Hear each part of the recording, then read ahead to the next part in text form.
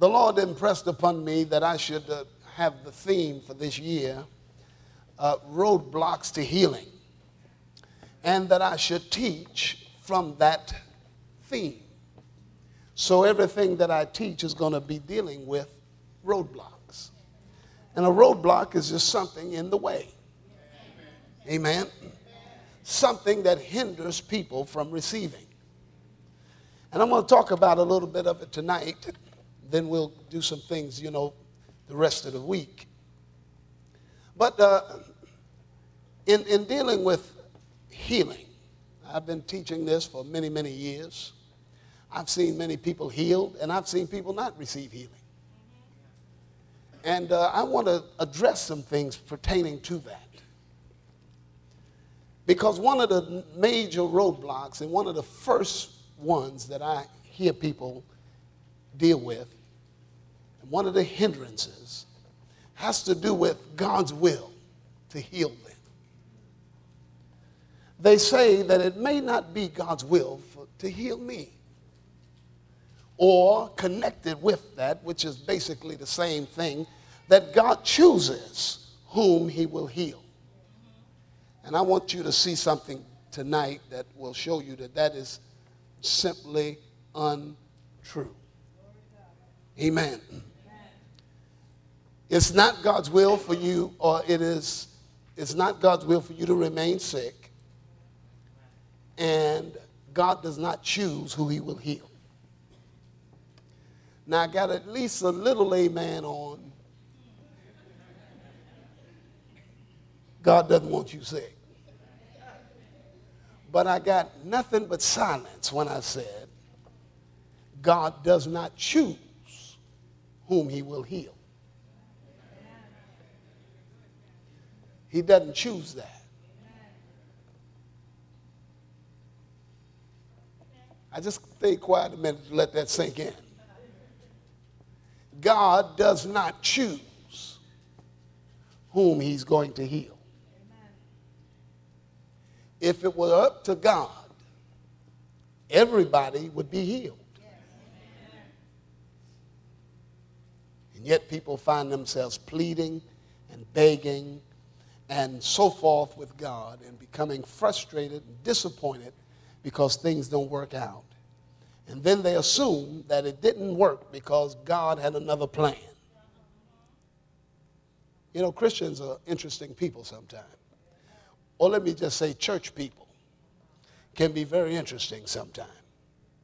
Because we think we have it all figured out, and then when it doesn't work the way we thought it should, then we come up with an explanation.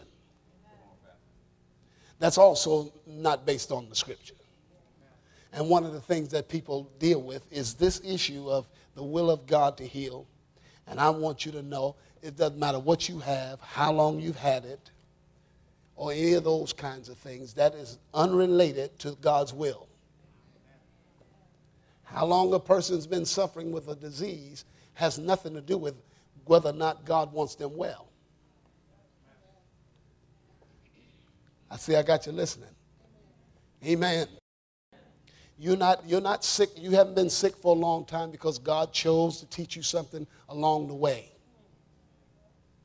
or that God was trying to humble you and all of these things. These are things that the religious world teach you. These are things that we hear in the church that are unscriptural. Let me say that just because you hear something in church or hear something from the pulpit or hear something from a minister does not mean it's from God. Say that again, Pastor Holmes. Well, I thank you. Believe I will. I said, just because you hear something, you know, in church from the pulpit or from a minister doesn't mean that it's from God. Hallelujah. Now, I'm a, I, I like the Bible. I think we ought to stay with the Bible. If something doesn't work for me, then I need to find what's wrong. Where did I miss it in the Word of God? Because I know one thing God don't miss. God doesn't lie, He doesn't miss, and He don't tell jokes either. And oops is not in His vocabulary. God don't have no oops moments. He doesn't have any moments where, oh, I'm sorry, I meant to do something different. That's not, that's not with him. But I think if we're going to experience the healings and the blessingness that God wants us to experience, we need to find what His Word has to say. And we're going to have to get rid of certain things. Now, for, for, for instance, the Bible teaches that as a man thinketh in his heart, so is he. Your life is really governed by your thoughts.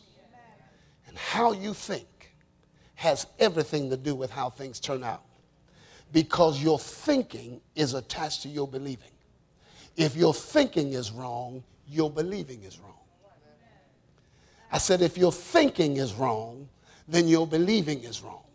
See, people have certain kinds of ideas about God that they think, things they think about God that may not be true, which causes them to believe certain things. For instance, there are many people who believe that God uh, controls everything, and nothing happens except God wants it to happen. That, that God is controlling everything. Everything happened by His will or His, his permission. And the way we say, the way people use it today and say, well, God permitted it, what we actually mean that that's just a subtle way of blaming him. God's behind it one way or the other. It was either directly what he wanted or he allowed it to be for some reason.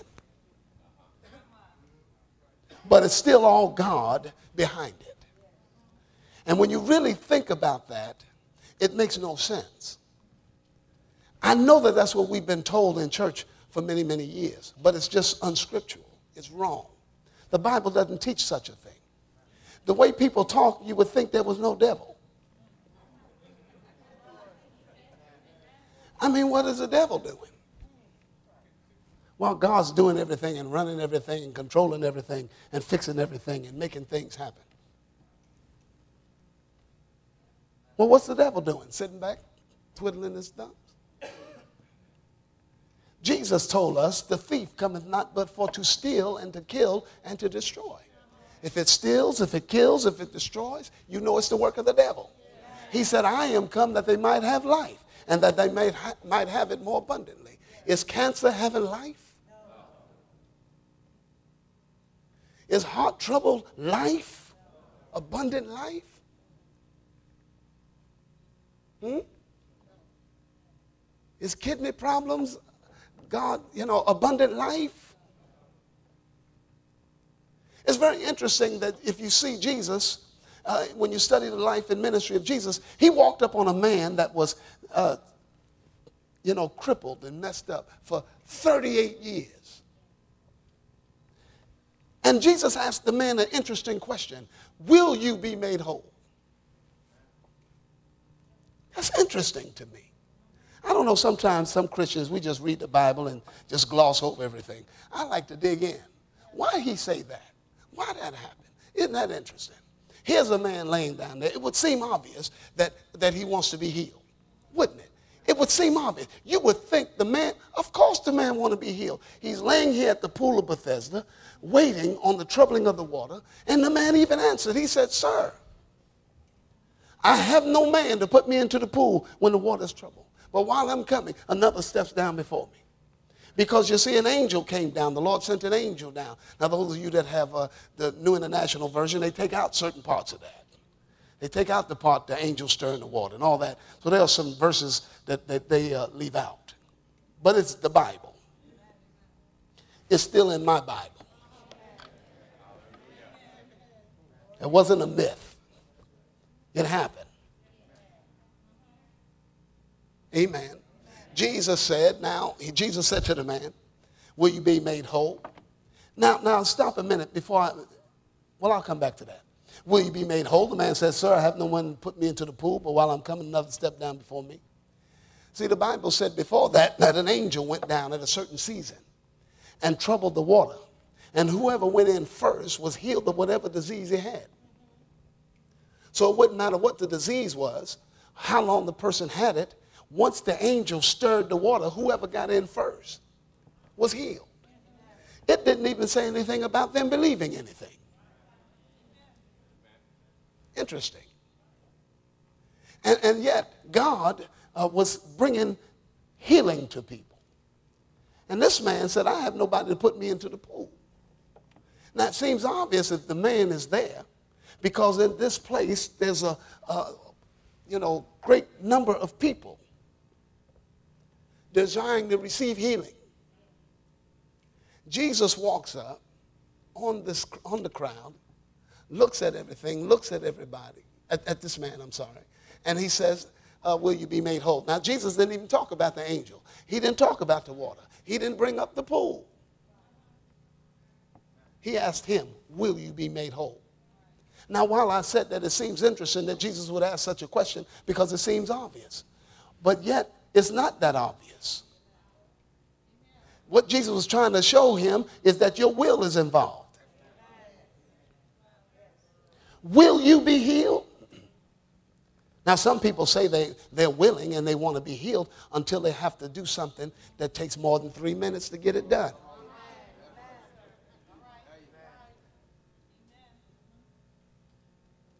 And then they get frustrated. I've been doing this for uh, three days and uh, three minutes and nothing happened.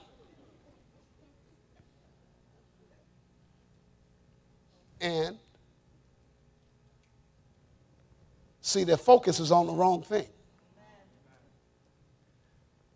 Your, when your focus is on how it looks and how long it takes and how you feel, I want to tell you a little secret.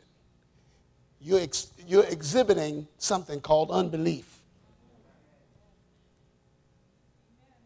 See, it's countering your faith. But I've jumped ahead. I want to deal with this here about God's will to heal. Is it God's will to heal? Well, the only way we can find out is go to the Word of God. So let's go to passages that most of you already know. Isaiah 53, we'll start there. Isaiah 53 and verses 4 and 5. I'm reading from the New King James. Surely he has borne our griefs and carried our sorrows. Yet we esteemed him stricken, smitten by God, and afflicted. But he was wounded for our transgressions, he was bruised for our iniquities. The chastisement of our peace was upon him, and with his stripes we are healed. Now, now stop for a minute now. Look up a second. Now, whoever this is that is referring to, well, first of all, we can see whoever it's talking about, he was wounded for their transgression. Right? He was bruised for their iniquities. The chastisement needful for them to attain peace and well being was laid upon him. And with his stripes, whoever they are he's talking about are healed. Right? Now we're dealing with the roadblock. It may not be God's will to heal me, or God chooses whom He will heal. It's saying the same thing because it may not be God's will to heal you, but He'll heal somebody else. And so we just come hoping and praying and praying and hoping and uh, just wishing and, you know, desiring and not obtaining. But now, I think it's important for us to stop for a minute and say, and look at that when it says, Surely he hath borne our griefs. Well, who's the owl he's talking about? Certain people or everybody? Well, how would you know? Well, there's no hard, there's not a test. I'm going to show you how you would know. Hold that right there. Don't, don't lose it. Go over here to John 3. Let's let Jesus tell it. John 3 we all know this. We all learned this in Sunday school as little children. Amen. John 3 and 16. For God so loved the world. Now that would include who? That would include everybody. Is, or I should say, who would that exclude? No one would be excluded from this. God so loved the world that he gave so his love for the world motivated him to give something. God so loved the world that he gave. And what did he give? His only begotten son. Now notice that whosoever believeth in him shall not perish, but have everlasting life. But then after that it says in verse 17, for God sent not his son into the world to condemn the world, but that the world through him might be saved. Now, that word saved comes from a Greek word, sozo. It's actually spelled S O Z O, but it's pronounced sozo as though it was a D in it. And that word sozo is the word that's translated here, saved. And it includes healed, delivered, in all healing, forgiveness of sin, and all of those things, and deliverance from bondage is in that word. So God so loved the world that he gave his only begotten Son, that whoever believes in him will not perish, but have an everlasting life. For God sent not his Son into the world to condemn the world, but that the world through him might be delivered, saved, healed. Well, well then, then, then, because anybody that's in the world would qualify. How, dear, how, my dear brother sister, can it be possible for God to send Jesus that whoever believes on him will be saved? Sozo. Saved, forgiven of their sins, healed, healed in their bodies, delivered from destruction. How can it possibly be that he sent them him for that, and yet it not be his will. See, that doesn't make sense. How could you ever say it may not be God's will to heal you? If that's true, then you have to say it may not be God's will to save you.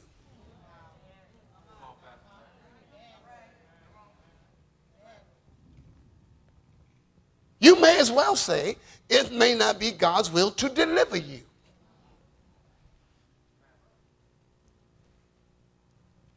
Are you listening to me? You can't say that you would have to separate. You'd have to take the word away. You can't do it. You can't do it. You can't throw that word away. That word that's put in, in that's in the Greek, that's translated here, saved, is the same word that's used in James. Is any sick among you? Let him call for the elders of the church. Let them pray over him, anointing him with oil in the name of the Lord. The prayer of faith shall save. It's the same Greek word. Now, you know he's not talking about uh, uh, forgiveness of sin. The prayer of faith shall save the sick, and the Lord shall raise him up. Now he's using the word save, but he's talking about healing. Same Greek word. God sent not his son into the world to condemn the world. He's not even condemning the world to sickness or to disease or to destruction. God sent not his son into the world to condemn the world, but that the world through him might be saved, forgiven, healed, delivered.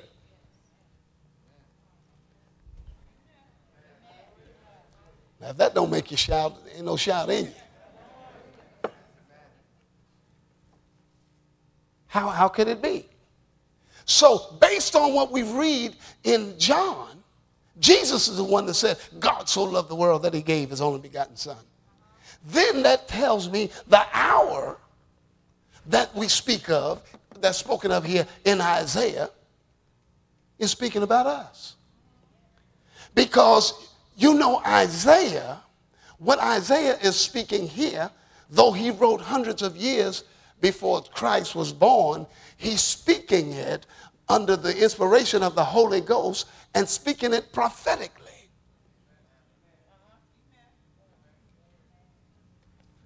All right, just hold that a minute. Just hold, hold that, hold that, hold that. We, we're going to keep Isaiah and let's, let's, let's, we're going to leave John for a moment, but we, we holding Isaiah, right? Go to Matthew. Matthew 8. Let's, we'll start at verse 14. Now, when Jesus had come into Peter's house, he saw his wife's mother lying sick with a fever. So he touched her hand, and the fever left her, and she arose and served them. When the evening had come, they brought to him many who were demon possessed.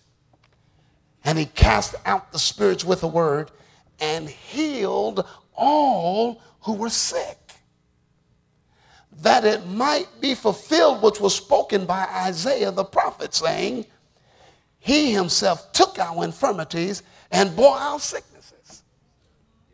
Whoa, does that sound familiar? We esteemed him stricken, smitten of God, and afflicted, but he was wounded for our transgressions, bruised for our iniquities.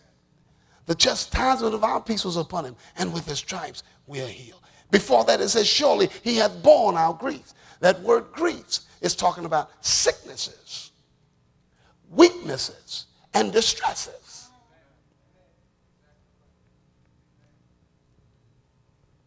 He has borne our griefs. If he has borne or carried our sicknesses, weaknesses, and distresses, could it be possible that he wants us also to carry them? Then if it's not his will for you to carry them, it's his will for you to be healed of them. My dear brother, sister, you and I can follow in the steps of Christ, even in suffering to some degree, but never, never do we do the same thing that he did in his substitutionary work. There is nothing that you and I can do redemptively in following Christ. We cannot follow his redemptive example. We have no holy blood that can wash anybody's sins. You could die on the cross for his glory, but you can't save nobody else by your dying on the cross. You just dead. And people talking about how wonderful it was that you was willing to give your life for Christ. But no one can be saved by that. See, that we need to know the difference in following Jesus in his examples in his walk and in his, in his substitutionary work. So you, you need to understand that. He has borne our griefs and carried our sorrows. And when you look that word up in the, in the Hebrew, the word sorrows there is talking about pain. So that means that really he, Jesus, took upon himself our pain and the diseases and sicknesses that caused them. If that's what he did in his substitutionary work, it is not possible for him to choose who he will heal. If God chooses who he will heal, then we have to take this out because it's not true.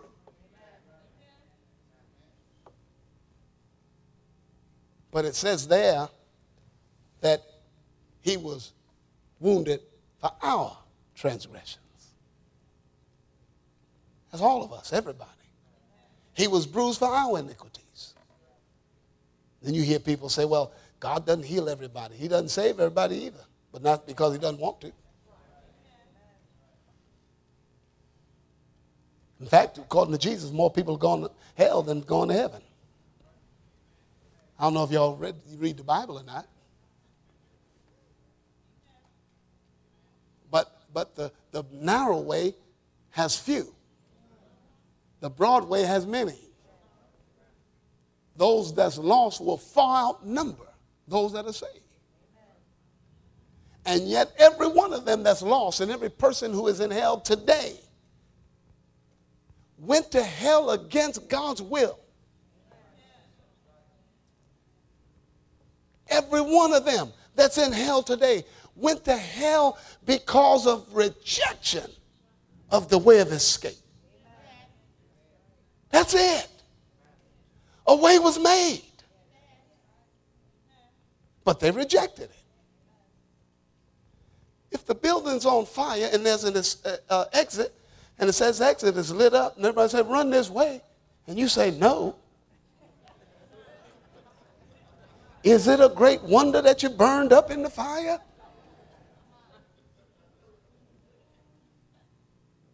But let me tell you what some people would th- say. We don't know why God took our dear brother. That's what would be said at the funeral. God, in his wisdom, took our dear brother away from us. No, the man, in his lack of wisdom, refused to go to the exit when they pointed out to him. God gets blamed for all kinds of things, but it comes from the teaching, this demonic teaching about God's sovereignty. It's a demonic teaching about the sovereignty of God that makes God uh, uh, just controlling everything and doing everything. Nothing happens except He wants it to. That's, that's wrong. That's wrong. You just think about something just for a moment. You know, the Bible teaches that, that, that uh, it's appointed unto men to die. The only thing that God says is that everybody has to die. He does not arrange the method by which they die.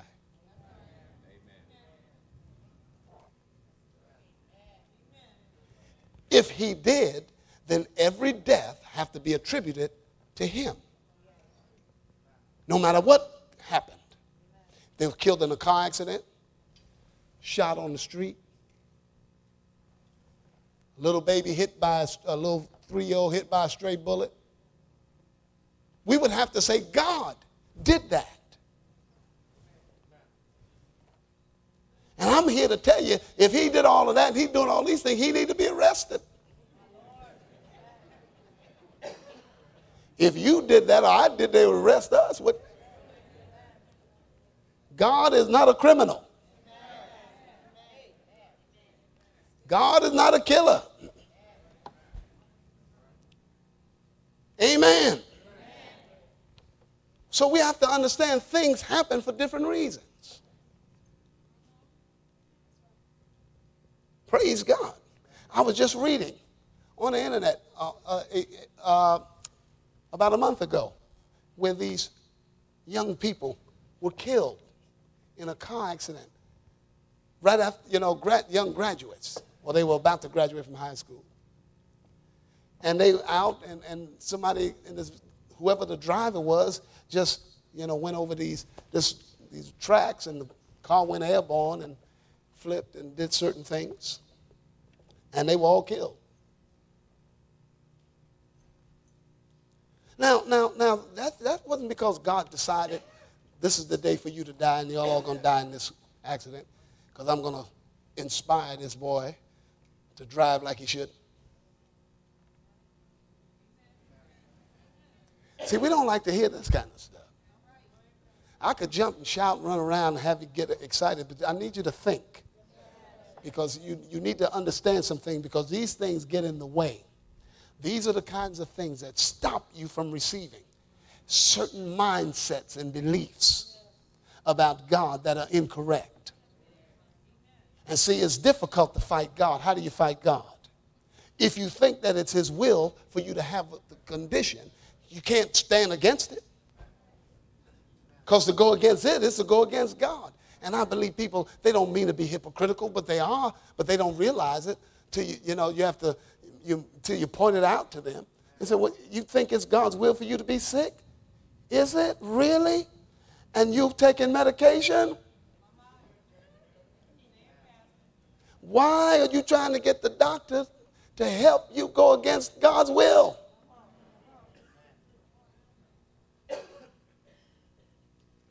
If it's His will for you to be sick, anything that you do to relieve yourself of that sickness is also to relieve yourself of his will. If it's his will. Now, now, now you don't get no fight from me because I don't believe it's his will. But for those of you that do, why are you going against him?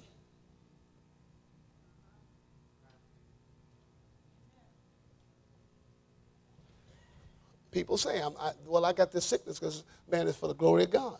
Well, really? God's getting glory out of your headaches? Well, let him get more glory. Ask him for some real deep stuff. The kind of stuff that'll kill you. I mean, if he gets glory out of headache, boy, imagine what he get. Out of you shriveling up and dying from a bad disease. I know that sounds kind of rough, doesn't it? Well, that's all right. You know, sometimes you got to slap people into reality.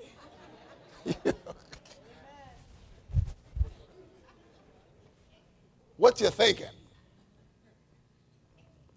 Now you got to make people think, because these are things we don't think about. We just embrace some argument with, with no merit. Let's go back to Isaiah for a minute. Hold on, hold on, hold on, hold on. Don't go there yet. Don't go to Isaiah yet. We in Matthew, right? That it might be fulfilled, which was spoken by Isaiah the prophet, saying himself took our infirmity and bare our sicknesses. Right? He took them and he bare them. So is it his will for both of us to have them? No. Then, then if he took it, then I don't have to have it. It may be a physical reality that I'm dealing with something, but I know based on His Word that it's not mine and I don't have to embrace it. I don't have to have it. I can stand against it. I have the right to stand against it.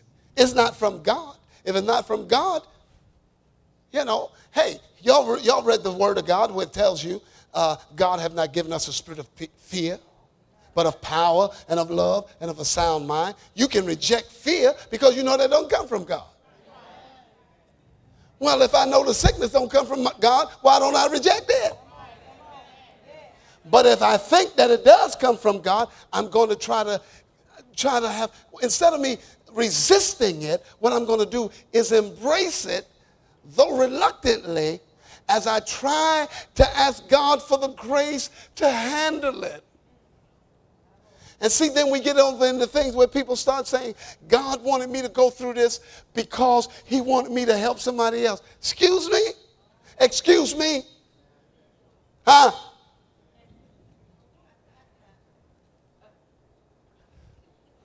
Let me go over that again. God called you to suffer. Imagine that man at the pool of Bethesda. 38 years. He go around testify. See the reason why the Lord wanted me to go through that, so I can tell other people. It could be a long time, but one day, after a while, maybe not when you want him, but he'll be on time. How many have ever heard that? All these religious things that we say and we come up with things to argue against against the Word of God. Amen. Against it. Things that, that, are, that are lies. Things that the enemy is using to keep you bound and defeated. Instead of you becoming defeated and discouraged and saying, it must not be his will because it didn't happen yet. You need to stop and say, well, what's wrong and what's causing it to be held up? Where am I missing it? Because God can't miss. The only one that can miss is me. So if indeed I'm missing, let me find out where I'm missing it. It's just that simple. And if I can find out where I'm missing it, and I will if I ask him, then I just make an adjustment. It doesn't matter how, how well you, your, your, your, your intentions are. This, if you get out here and get on I-20 and go, uh, uh, go west, you may have desired to go east, but you're going west. The longer you stay on that road, the further west you're going. Now, 18 hours from now, you'll be in Dallas. Maybe shorter than that, depending on how you drive. You'll be in Dallas, Texas. You know, that, that road, it'll keep going.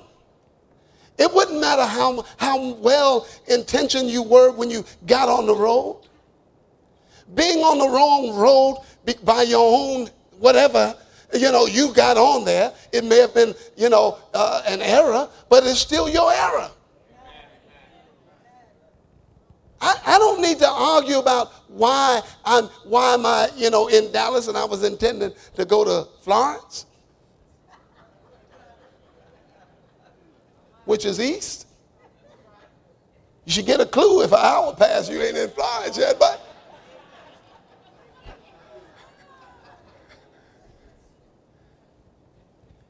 But if it's if it's if it's really nothing, nothing's happening at all, it, it may make you say, well, let me see if I let me check some things, make sure I'm not missing it in some area. And just make an adjustment. Now, what would happen if you drove all the way to Dallas? I there's nothing you can do but turn around, get on the other side, and come back. But the good news is if you stay on it, you'll pass here. Now don't get off and say, I went and I tried that trip, it didn't work out, and I'm staying home. No. Keep going. Keep going. If you're on the right road, stay with it. Stop acting like a child talking about are we there yet?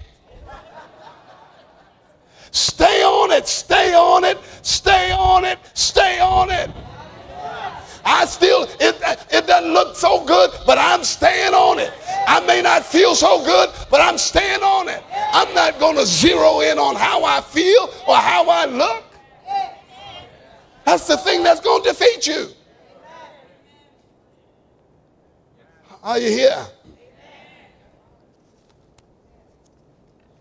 Go to Peter. First Peter. Now we see what Isaiah, I mean what Isaiah said, and then we see what was written in Matthew, referring to the passage that we read in Isaiah. Isn't that right? Y'all read where it said that it might be fulfilled. We spoke about Isaiah the prophet.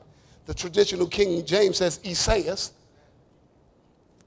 But that's just the way they did it from the Greek. But it's Isaiah. 1 Peter 2 and verse 24.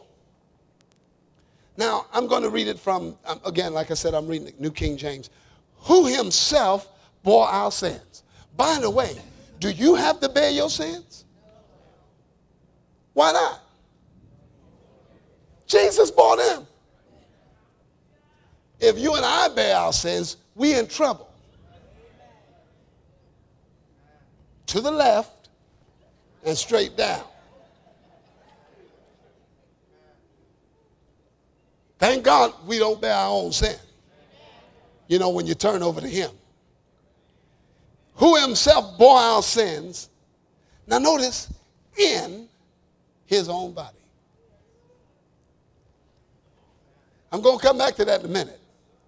In his own body on the tree. That we, having died to sins, might live for righteousness, by whose stripes you were healed. Is that in the Bible? I said, Is that in the Bible? Did the Bible say, By whose stripes ye were healed? All right, it did it? Well, were is that past tense, present tense, or future tense? That's past tense. Well, if it's past tense, then it already happened. Well, if it already happened, I'm not trying to make God do it.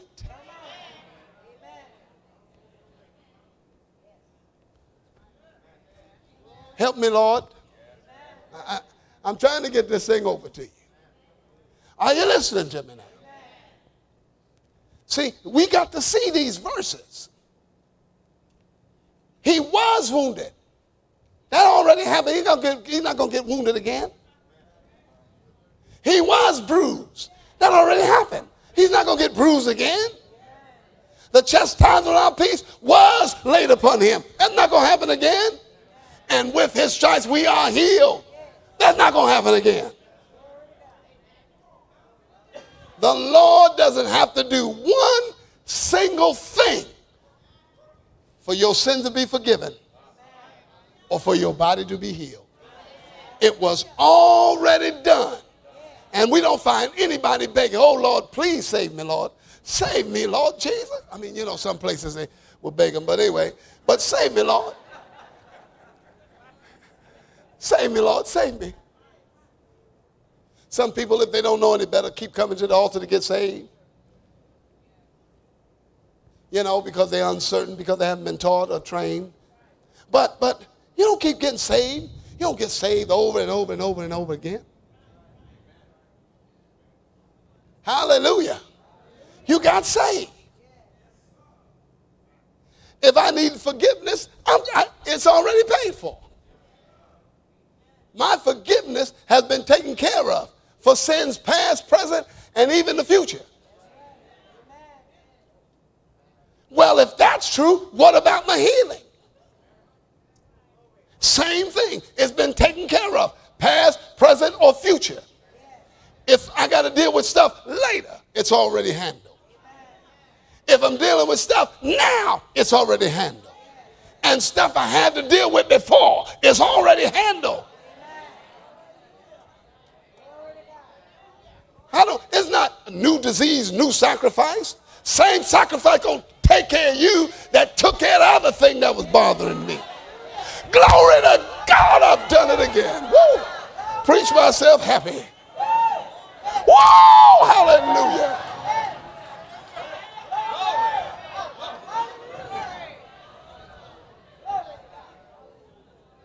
Are some of y'all in a coma?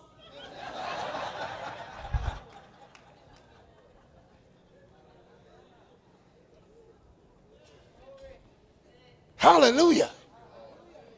If I just get a hold of our, I think I got it. Now let's go back to Isaiah. Verse 4, Isaiah 53. Surely he has borne our griefs. He got it on him. And I'm going to get back into the other thing in a moment. But he got it on, he carried it on him. Our griefs, our sicknesses, our weaknesses, our distresses. Hallelujah. He carried it. He carried it. Glory to God. He, borne our, he has borne our griefs and carried our sorrows, our pain. Yet we esteemed him stricken, smitten to, by God, and afflicted. But what we didn't realize, he was wounded. My God, my God. For our iniquities. I'm in the hour there because it said God so loved the world. This includes not only the people of that day, but the people of today and tomorrow. And the wonderful thing about that is that Jesus is the same yesterday, today, and forever.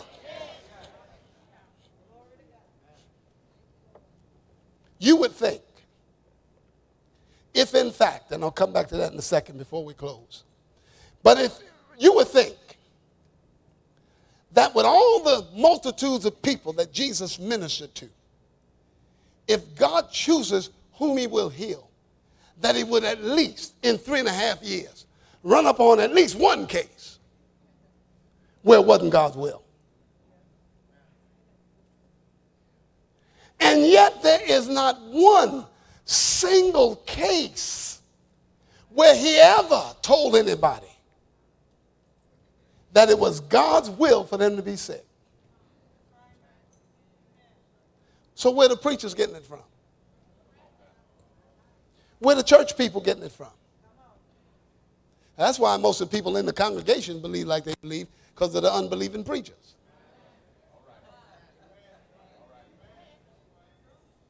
Full of roast beef and unbelief. Amen. And teaching all that stuff. Praise God. That's, that's, the, that's the issue. Where, where does it come from? Stop and ask yourself a question. Why do I believe?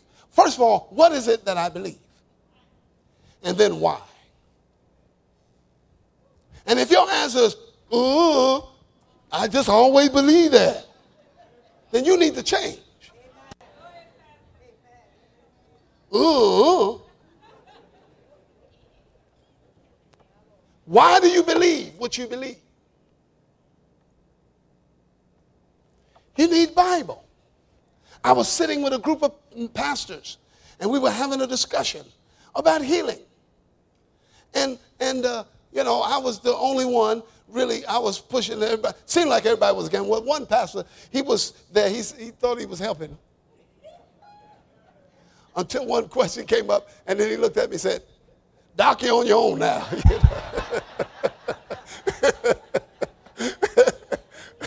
I said, You want no help anyway. But I'm on my own. I was on my own the whole time I was in here. None of them know what they're talking about, and you don't either. So I asked the question listen, name me one case where Jesus told anybody it's not God's will to heal. So one pastor stood up, or, uh, and he, well, he said, he pointed out, he said, the woman who came to Jesus and her daughter, the Syrophoenician woman, her daughter had a demon and all of this. And he told her, you know, it's not meat to take the children's bread and give it unto dogs. Now I go back and read it, first of all, before I even get into what my argument was. But you go back and read that. He said let the children first be filled. You know how to read, don't you? That's number one. But here was, I didn't even go there. I just said, listen, well, let me ask you this one question.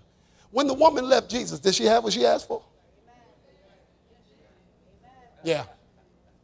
Well, either it was God's will for her to have it, or Jesus went against God's will.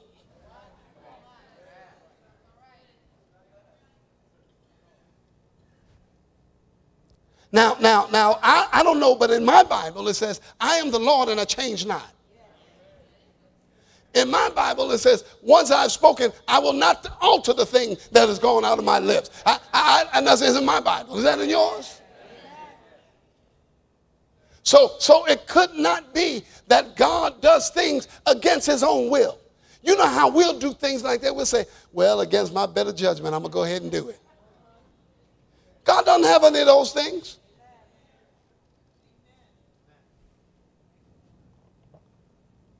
Now, God has given people what they wanted because they wanted it. And he said, you want, really want that? Like the king. You don't want it? Now, let me help you what's going to happen. But one thing God won't do is violate your will. That brings to, to, to, to, uh, to the discussion again what Jesus said to the man Will you be made whole? And I know personally that I ministered to people that didn't want healing. Amen. And, and, and uh, one man was healed instantaneously. He had his, uh, he, uh, uh, a nerve in his hand had been severed. And he was, had no feeling in his hand. And the Lord had me to minister to the man. I said, hold your hand out there. And I slapped both hands with both hands and he yelled out, Ow! Feeling came in instantly. Well, I went back to the same place a year later. I said, How many of y'all are here that were healed last year? And he was sitting on the drums, and I looked over there and I said, Young man, were you not healed? He said, Yeah, yes, yes, sir. I'll talk to you about it later. this really happened. I'm not making this up. You know what he came and told me afterwards? He said, I, I, I, did get healed, but you know, I, I get a check for that.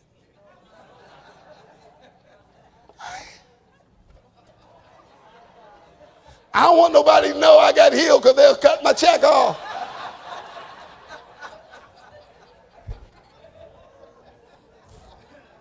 See, now you know I'm not God because right there you'd have lost it. I was God. I take the healing right then. You can't have it now. And uh, when, when the checks are less important than the healing, I, will give it back to you. I see you go on away from me with no feeling in your hand. But collect your check. I've had other people I minister to, and I said, Well, what about this condition here? Well, that's all right. I, I can deal with that. You know, uh, uh, I just. Somebody came, wanted prayer for their stomach. I prayed for them, and, and, and they obviously they were limping. And so I said, What's wrong with your leg? Let me, oh, that's okay. I don't, I don't need nothing for that.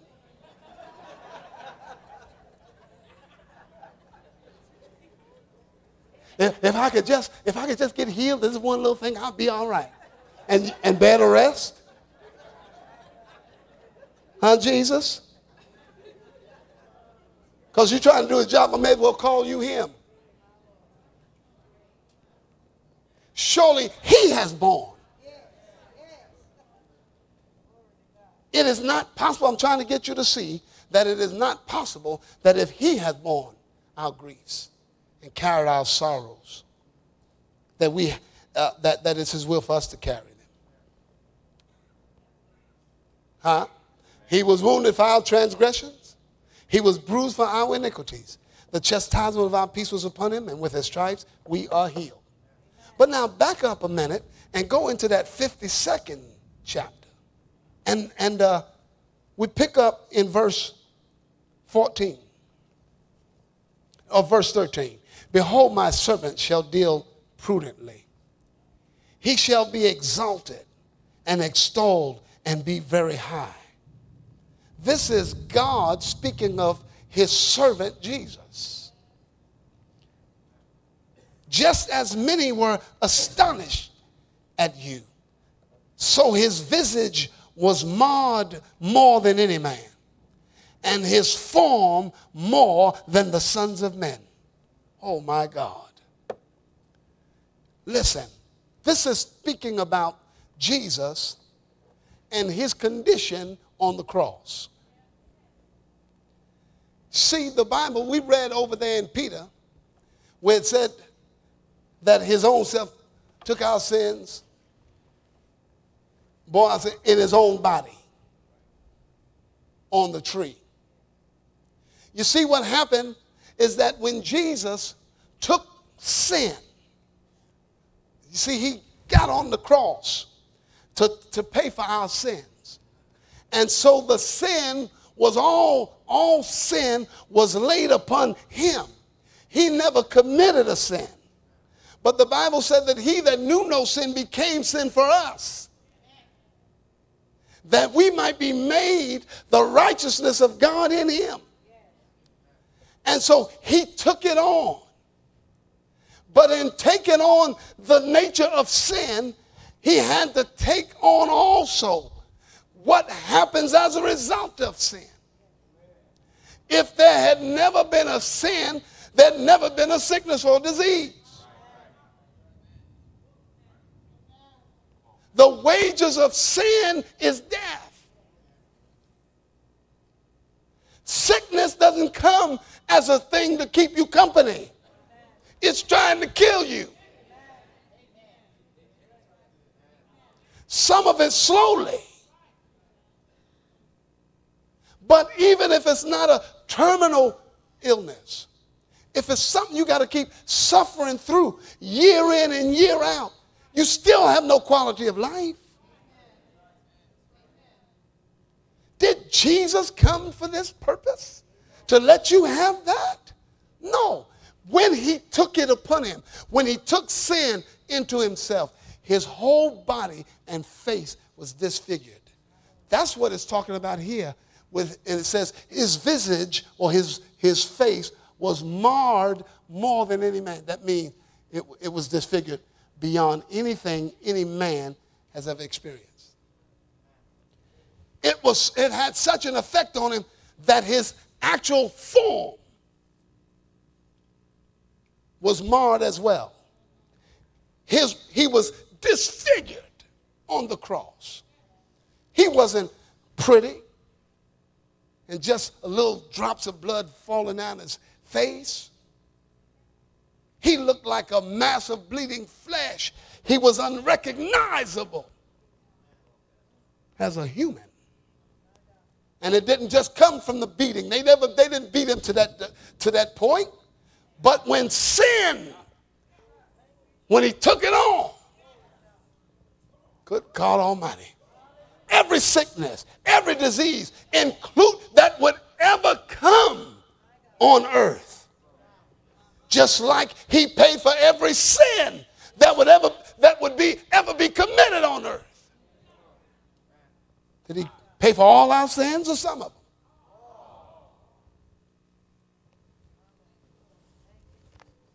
Then why do I have to have it? It may not be his will. That's wrong. And since we in the 21st century, we ought to have a little more revelation than David did thousands of years ago. But even he said something. Amen. In the 103rd Psalm, go ahead and look there with me.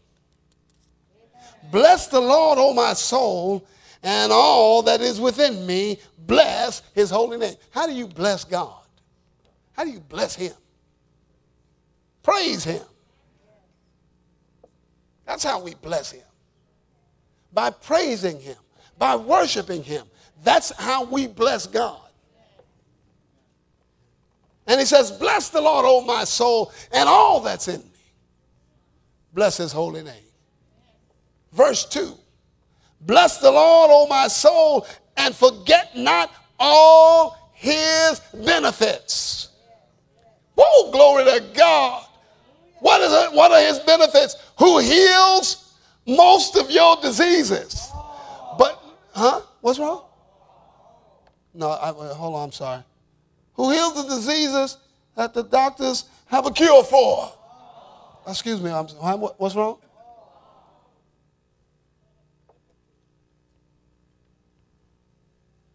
No, who heals all your diseases. That's it. All your diseases. Wait a minute, before that, who forgives all your iniquities. How many of your iniquities? The real ugly ones? The ones that don't seem so bad? All. How can he forgive all your iniquities and heal all your diseases, and yet he sometimes chooses who he will heal? Impossible. Either the redemptive plan of God includes healing and forgiveness, or it doesn't. And it does because everything we've seen show it. But not only that, always you see healing and forgiveness of sin going hand in hand. You remember Abimelech? He wanted a, he's going to have Sarah, Abraham's wife. And, and, and uh, the Lord told him, You're a dead man. Wasn't that Abimelech? You are but a dead man because Abraham, you know, said that this is my sister, and she said so also. And and and uh, and, and the Lord said, "You you dead." And not only that, all the people, all the women, you know, their, their womb locked up, they couldn't have children.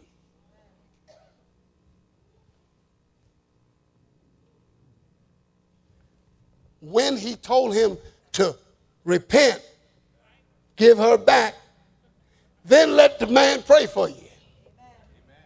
And you get healed. He got healed, and everybody else that had an issue got healed. Notice the forgiveness once the repentance had come, and the healing was hand in hand. Right here in Psalm 103, we see hand in hand who forgives all your iniquities, who heals all your diseases. Well, how much is excluded from all? You mean even mine? But I've been suffering a long time. And you ain't the only one suffering a long time. That, that man in, in, at the pool of Bethesda didn't argue with Jesus about how long he'd been there. The Bible said when Jesus saw him lie, knew that he'd been now a long time in that case. He said, Will you be made whole? Interesting. Are you willing to be healed? Go down deep inside you. There are people who are not willing. They say out of their mouth that they want to be healed, but they love the attention they get being sick. Will you be made whole? They like how people fuss over them.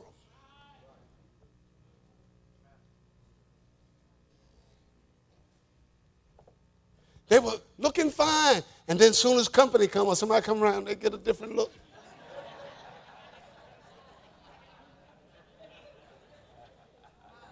Turn on the pitiful. Could you get me some water? You was just up at the refrigerator 30 minutes ago. So, I, it sounds funny, but I'm telling the truth. Will you be made whole? Will you be healed? Are you willing? Some people are not willing.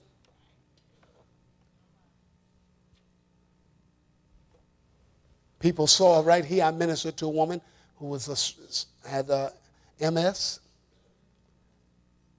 multiple sclerosis. She's in all kind of pain and so forth. She's suffering bad. I ministered to her right here and healing came. And she left out of here and went and did something I still couldn't do right now. I mean, I could if I, you know, get my wind up. Went and rode a bike for six miles. But she stayed away from the word. See, I, I, I know, I know, I don't, I don't mean to, this is not going to be political, politically correct, but it matters where you go to church. All right, so I ain't gonna say it again. Well, thank you, believe I will. See, y'all told me to say it again. So it, it, it matters where you go to church. And the only reason why that is, it matters what you hear. Jesus said, take heed what you hear. And even you, you can get healed and have something great happen and get talked out of it over time.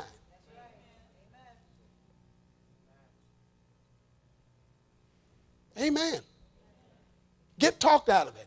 You don't want to experience it.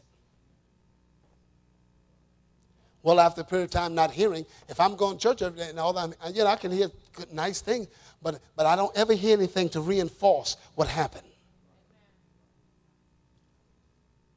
Like, like the woman that was in the church in Spartanburg, and I ministered to her years ago, and she had cancer, and she was taking radiation treatments and chemo and all of it and she had just come from a treatment that day and, and came to service. In fact, she was invited by someone else who had, was healed from, in the, from a stomach condition.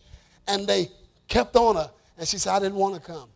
I, she just kept on, but she, the woman came, and I ministered to her. And I didn't know what was wrong with her. I didn't even ask her. I didn't ask anybody. It was a line of people. I didn't stop and pray and talk to each one. I just laid hands on each one, just touched them, and kept going and kept going. And the power of God was moving, and, and people were falling on the floor. And, and afterwards, I turned the mic over to the pastor. I was going to the office, and I had to step over people to get there. When I got in the back there, I heard someone hollering, I'm healed, I'm healed, I'm healed of cancer. And I came back running out. And when I came back out, I, I saw this woman with her hands raised, praising God, saying, I'm healed of cancer. She went back to the doctor. They couldn't find any cancer in her body. No trace. Now you could tell me went in remission. Really? Really? Really? Instantly, huh? But here's, some, here's the key her pastor taught healing as well. And for a period of time, those people, the doctors would have her come back and they would put a light up inside of her and looking, trying to find anything. But she was healed. I saw her over 10 years later, still healed. Never had any more treatments or anything. What was the key? What she was hearing. She is able to sit and hear somebody reinforce that word. But you see, the, Jesus taught that to take heed what you hear. You see, to him that hath shall be given. And to him that have not will be taken away even that which he have. In other words, what that actually means is if see the word is seed. If I sit and hear the word and that word gets watered, it's going to bless me and it's going to keep growing. The word grows in you like a seed. Just that's what Jesus said. First the blade, then the ear, then the full corn in the ear. That's talking about how the word actually grows in you. And, and the more I'm in it and, and watering it, the more it's being exercised, the more, you know, I'm growing. And it's growing in me. The scripture says, so mightily grew the word of God and increased. And it's growing in you. But if I go sit and, and, and hear somebody just a little bit, you know, God is God, and sometimes it's not His will. Yeah, somebody ought to say amen to that. and I just keep going hearing stuff like hearing that little by little, talking to, you know, grandma and, and Aunt Susie and everybody else. And the child, please, yeah, baby, that, that ain't Shucks, you just got to be careful because that runs in our family, you know.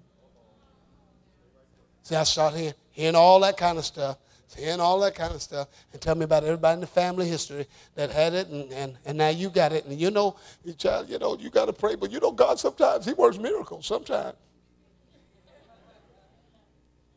See, what have they done? They've taken it away. So the woman came back several, a couple years or so later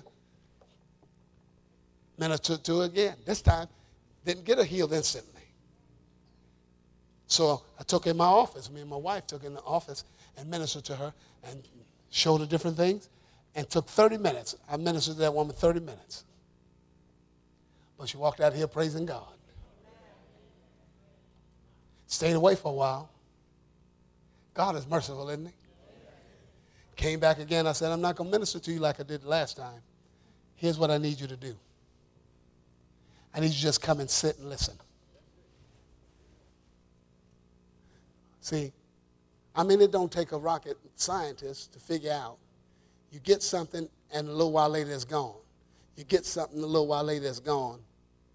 That something need to be fixed. And I know, I know exactly what needed to be fixed. I knew how to help her. But people aren't always willing. Sometimes you tell people to do something, well, they want to know if it's easy. Well, I want you to do X, Y, Z. A woman in Chattanooga, I, I prayed for, ministered to, who was, had suffered four strokes and five heart attacks. Now, when I went there, and I believe the same woman, that I went there one year and I'm ministering. And the Lord told me to tell this woman I was going to be there three nights a week for the whole month Wednesday through Friday, every week. I was going to be there. And I told her, the Lord told me to tell her, if she will come, tell her if she will come in here and not miss, that by the end of the month she'll walk as good as you. And that's what I told her in front of everybody that was there. Do you know the first time she missed that did it? Now, why would somebody miss? They don't believe it. And no, and no way in the world you really believe it's God and you're going to change or come up with some excuse, some reason why you can't. Like I was at a service and I, was talking, we was talking about this service, and how tremendous it was, and, and, and this pastor spoke up and she said, uh, she said, you know, oh, I, God told me to go there. God told me to be in that meeting, but I just couldn't do it. What? that's a question mark with an exclamation point at the end of it. What? God told you, but you couldn't. How is that possible, please? Now, God could tell you, and something get in the way, and you take the path of least resistance. Some people, any kind of resistance come, they give up. It's called a faith fight. It's a fight. Now you can stand in the ring and get punched all over every place. And just punch the person in the glove with your face. And just stand there and get knocked out. You still in the fight. You may not be participating. So you just taking a beating. If you don't participate, you're going to take a beating. But when you take your stand and say, wait a minute. See, the woman that, that uh, I told to come, she didn't come. A year later, I went, and this woman had five years in the, in the thing now. The Lord is merciful. And she got healed that night. But think about this she suffered a whole year longer because she was unwilling to do certain things. It may cost you something. That's not because God make it, you know, makes it that way, but it may cost you something. You may have to spend time on money to do some things. It costs you to take a vacation. You still take it. Why you looking at me in that tone of voice? Costs you to buy gifts at Christmas time. If you ain't got no money, y'all still go, go do it anyway. Credit cards. Just bow down and say charge.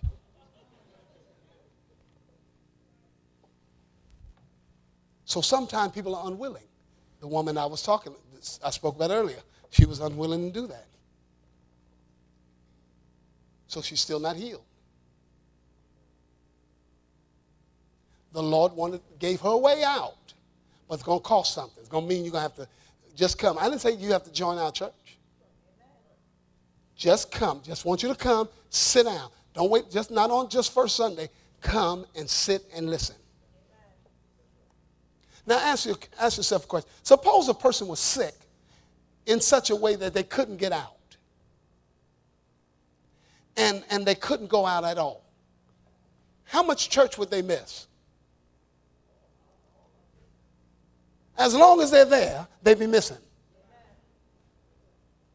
Would it mean anything bad happened? Was bad, you know, that they did something wrong? So I'm not telling you to leave your church and come. I'm just telling you to sit and listen. Because I need to get enough in you that you know what to do with it when you get it. If you don't know how to resist, you're going to be overtaken.